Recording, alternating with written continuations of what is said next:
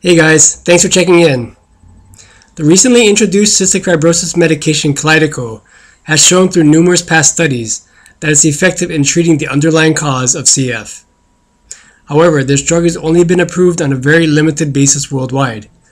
In fact, to date, the United States is the only country that has granted government approval for the usage of Kalydeco.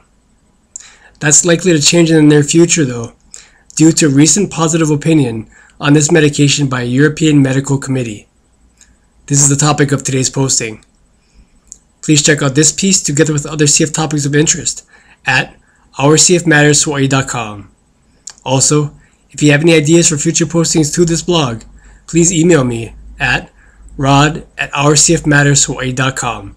I'd love to hear from you. That's all I have for now, and I'll see you next time. Live life.